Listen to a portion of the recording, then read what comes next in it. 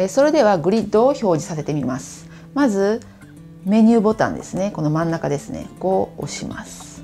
そして、えー、こちらですね、えー、カスタムですね。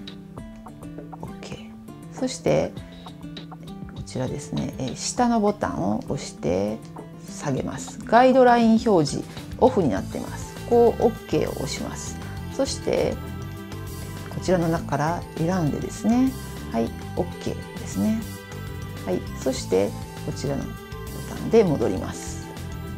はいガイドラインが表示されました。えもう一箇所設定するところがあります。こちらの Q メニューこのボタンですね。こちらを押します。そうしますとこちらにガイドライン表示出てますね。でこちら上ボタンでそして、えー、左右のボタンで選びます。OK ボタンではい設定されました。